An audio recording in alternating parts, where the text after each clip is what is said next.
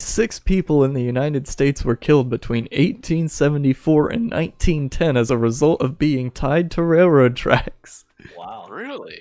that's really low. That is. That's so surprising. you know, think it'd be a little bit more. Yeah. Honestly, you know what that is? It's the U.S. guillotine.